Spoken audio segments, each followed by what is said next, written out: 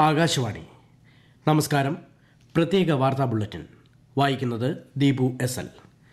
Pune metro ഒന്നാം ഘട്ടത്തിന്റെ പൂർത്തിയായ ഭാഗങ്ങളിലെ രണ്ട് സർവീസുകളുടെ ഫ്ളാഗ് ഓഫും വിവിധ വികസന പദ്ധതികളുടെ ഉദ്ഘാടനവും പ്രധാനമന്ത്രി നരേന്ദ്രമോദി നിർവഹിച്ചു.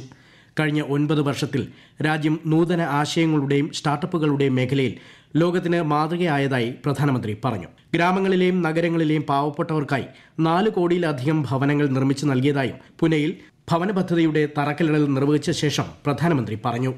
ചിൻവാഡ് മുനിസിപ്പൽ കോർപ്പറേഷന്റെ വേസ്റ്റ് ടു എനർജി പ്ലാന്റും പ്രധാനമന്ത്രി ഉദ്ഘാടനം ചെയ്തു. മണിപ്പൂർ സംഭവത്തിൽ പ്രതിപക്ഷ പ്രതിഷേധത്തെ തുടർന്ന് പാർലമെന്റ് നടപടികൾ ഇന്നും തടസ്സപ്പെട്ടു. വിവിധ ബില്ലുകൾ പാസാക്കി ഇരുസഭകളും ഇന്നത്തേക്ക് പിരിഞ്ഞു. ലോക്സഭ ഇന്ന് സമ്മേളിപ്പിച്ചപ്പോൾ തന്നെ മണിപ്പൂർ വിഷയത്തിൽ സർക്കാരിനെതിരെ മുദ്രാവാക്യങ്ങൾ ഉയർത്തി Congress D M K J D U തുടങ്ങിയ പാർട്ടികൾ പ്രതിഷേധിച്ചു. ഡൽഹി ദേശീയ തലസ്ഥാന മേഖല ഭേദഗതി ബിൽ രണ്ടായിരത്തി ഇരുപത്തിമൂന്ന് ബഹളത്തിനിടയിലും അവതരിപ്പിച്ചു. ജനന മരണ രജിസ്ട്രേഷൻ ഭേദഗതി ബിൽ ഓഫ്ഷോർ ഏരിയ മിനറൽസ് വികസനവും നിയന്ത്രണവും ഭേദഗതി ബിൽ ഭരണഘടന പട്ടികജാതി ഉത്തരവ് ഭേദഗതി ബിൽ എന്നിവ സഭയിൽ പാസാക്കി. രാജ്യസഭ സമ്മേളിപ്പിച്ചപ്പോൾ പ്രതിപക്ഷാംഗങ്ങൾ നൽകിയ അടിയന്തര പ്രമേയ നോട്ടീസിനെക്കുറിച്ച് ചെയർമാൻ ജഗദീപ് ധൻഖർ പരാമർശിച്ചു. പത്രമാസിക രജിസ്ട്രേഷൻ ബില്ല് അഭിഭാഷക ഭേദഗതി ബില്ല് തുടങ്ങിയ സുപ്രധാന ബില്ലുകളും രാജ്യസഭയിൽ അവതരിപ്പിച്ചു. മണിപ്പൂർ വിഷയത്തിൽ പ്രതിപക്ഷ നേതാവ് മല്ലികാർജുൻ ഖാർഗെയെ സംസാരിക്കാൻ അനുവദിക്കണമെന്ന ആവശ്യം ഉന്നയിച്ച് പ്രതിപക്ഷ പാർട്ടികൾ മുദ്രാവാക്യം വിളിക്ക് സഭ ബഹിഷ്കരിക്കുകയും ചെയ്തു. ദേശീയ തലസ്ഥാന മേഖല ഭേദഗതി ബിൽ ലോക്സഭയിൽ അവതരിപ്പിച്ചു. കേന്ദ്ര ആഭ്യന്തര സഹമന്ത്രി നിത്യാനന്ദ് റായാണ് ബിൽ അവതരിപ്പിച്ചത്. ബില്ല് ഭരണഘടനാ വിരുദ്ധമാണെന്ന് പ്രതിപക്ഷ പാർട്ടികൾ ചൂണ്ടിക്കാട്ടി. എന്നാൽ ഡൽഹിയുമായി ബന്ധപ്പെട്ട് നിയമനിർമ്മാണം നടത്താൻ ഇന്ത്യൻ ഭരണഘടന പാർലമെന്റിന് പൂർണ അധികാരം നൽകുന്നുണ്ടെന്ന് കേന്ദ്ര ആഭ്യന്തരമന്ത്രി അമിത്ഷാ പറഞ്ഞു. ആലപ്പുഴയിലെ ആത്മബോധോദയ സംഘം ശുഭാനന്ദാശ്രമം മനുഷ്യസ്നേഹത്തിന്റെ മാതൃകാ സ്ഥാനമാണെന്ന് ഗവർണർ ആരിഫ് മുഹമ്മദ് ഖാൻ. ശുഭാനന്ദാശ്രമം മഠാധിപതിയുടെ ജന്മവാർഷിക ശതാബ്ദി ആഘോഷങ്ങൾ ഉദ്ഘാടനം ചെയ്യുകയായിരുന്നു അദ്ദേഹം. സംസ്ഥാനത്തെ തദ്ദേശ സ്വയംഭരണ സ്ഥാപനങ്ങളിലെ യുവജനപ്രതിനിധികൾ ആദ്യമായി ഒത്തുചേരുന്ന യുവശക്തി പരിപാടി നാളെ വൈകിട്ട് Thiruvananthapuram Vazhuthacaud mount Carmel convention സെന്ററിൽ മുഖ്യമന്ത്രി പിണറായി വിജയൻ ഉദ്ഘാടനം ചെയ്യും. യുവശക്തിയുടെ തുടർ പരിപാടി പ്രഖ്യാപനം ചടങ്ങിൽ നടക്കും. ജൽ ജീവൻ മിഷൻ പദ്ധതിയിലൂടെ സംസ്ഥാനത്തെ അൻപത് ശതമാനം ഗ്രാമീണ വീടുകളിൽ കുടിവെള്ള കണക്ഷൻ എത്തിച്ചതായി മന്ത്രി റോഷി അഗസ്റ്റിൻ.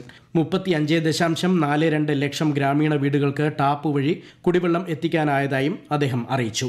രാജ്യത്തെ മുഴുവൻ ഗ്രാമീണ വീടുകൾക്കും ടാപ്പ് വഴി കുടിവെള്ള ലഭ്യത ഉറപ്പാക്കാൻ കേന്ദ്ര സംസ്ഥാന സർക്കാരുകൾ സംയുക്തമായാണ് ജൽ ജീവൻ മിഷൻ നടപ്പാക്കുന്നത്.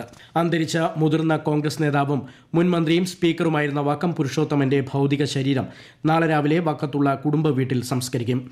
ഡി സി സി ഓഫീസിലും K P C C ആസ്ഥാനത്തും Attingal Kacherinada Vakkom government high school എന്നിവിടങ്ങളിലും നടന്ന പൊതുദർശനത്തിൽ നിരവധി പേർ അദ്ദേഹത്തിന് അന്തിമോപചാരം അർപ്പിച്ചു.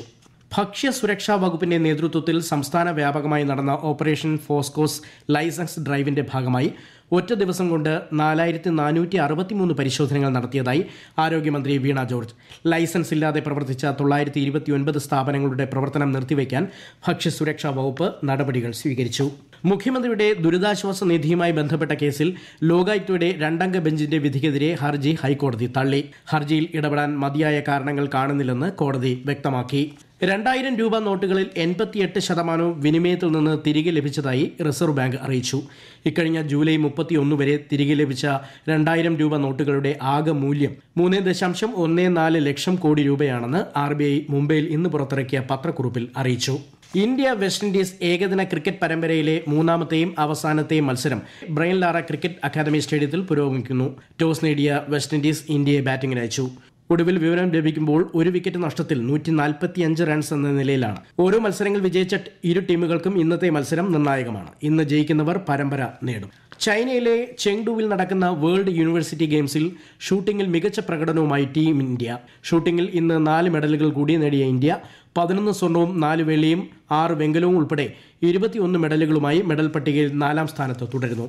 ഓസ്ട്രേലിയൻ ഓപ്പൺ ബാഡ്മിന്റൺ ടൂർണമെന്റിന് സിഡ്നിയിൽ തുടക്കമായി. ഇന്ന് നടന്ന വനിതാ ഡബിൾസിൽ ഇന്ത്യയുടെ ഗായത്രി ഗോപിചന്ദ് ട്രീസ ജോളി സഖ്യം രണ്ടാം റൗണ്ടിൽ കടന്നു. ഇന്ത്യൻ താരങ്ങളായ പി വി സിന്ധുവും ലക്ഷ്യ സെന്നും നാളെ മുതൽ ടൂർണമെന്റിൽ മാറ്റുരയ്ക്കും. പ്രത്യേക വാർത്താ ബുള്ളറ്റിൻ കഴിഞ്ഞു. അടുത്ത വാർത്താ പ്രക്ഷേപണം നാളെ രാവിലെ ആറ് നാൽപ്പത്തി അഞ്ചിന്